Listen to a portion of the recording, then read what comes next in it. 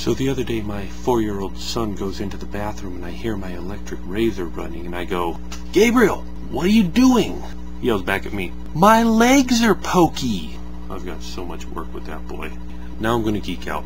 I think the uh, big buzz from ASCII Portal has died down, but there are still some people coming in and playing the game. If you don't know what ASCII Portal is, here's a quick explanation. ASCII Portal is a game I made. Go play it. I want to answer the question of how I did that really cool view that's kind of central to making ASCII Portal cool. Despite my best attempts at making this interesting to watch, there's still some heavy mathematics ahead, so be aware. But there's a lot to go through, and I tried compressing it down as best I could, so let's get started.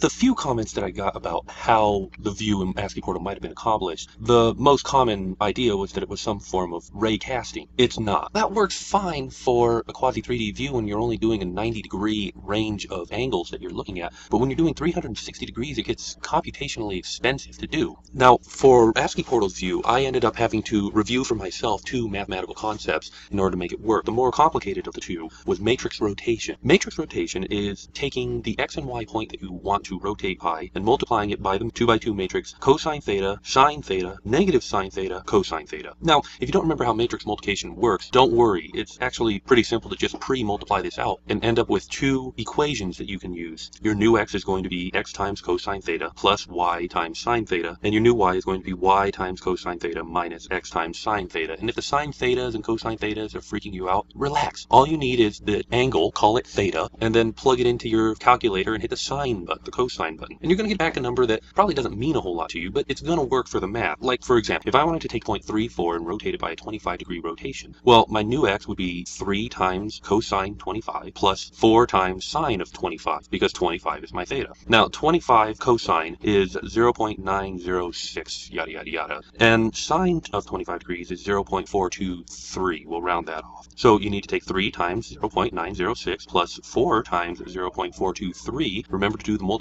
before the addition, and your new x is 4.41. In the same way, your new y would be 2.36. Plot these on the xy graph, and you'll see that around the origin, the point 0, 0, there's a 25 degree rotation. Now, the next concept is actually much easier. It's linear algebra, and hopefully that rings a bell for you. If not, maybe this will. y equals mx plus b. Actually, I needed to use a different form that took two points, created the m between them, and then used, again, two points to calculate it. It looks like this. y1 minus y2 equals m m times the quantity x1 minus x2. And in order to make this work, I actually had to put the y1 and the x1 on one side and the y2 and x2 on the other side. Just multiply through and do some subtraction addition. There you go. So on the one side, I've got y1 minus mx1 equals y2 minus mx2. And I'm actually not going to use an equal sign. I'm going to use greater than or less than because I want the area underneath or above that straight line. All right, I'm not going to mention any more about that. If you know this, you'll be able to reproduce it. And if you don't, you won't. But let me show you how I used it. So here I'm making a map with some internal walls. And let's say I fire a portal here and here. So the first step is to take a copy of this map just as it is and line it up with the blue portal where the yellow portal is. But since the view is rotated 90 degrees, or will be rotated 90 degrees, first thing to do is rotate the view 90 degrees.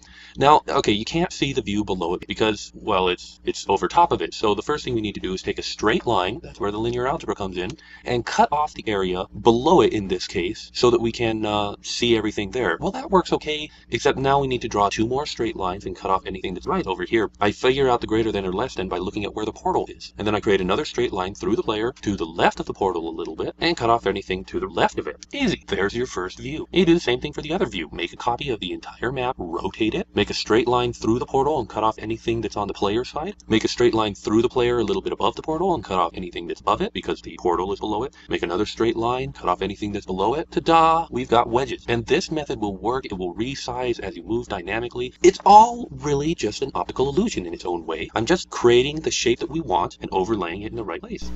And that's all there is to it. Easy, huh? Well, okay, maybe not that easy, but at least give me credit for being the first person to figure it out. Some of you might be asking after all that, is he asking for people to rip off his great idea? Yes! I want to play more games like this. And the only way that's going to happen is if other people make them. I'm going to try and make other games that build off of this mechanic. I want to see other people take this idea and run with it. That's all I got. Thanks for watching. Come visit me at Cymon's Games, uh, www.cymonsgames.com.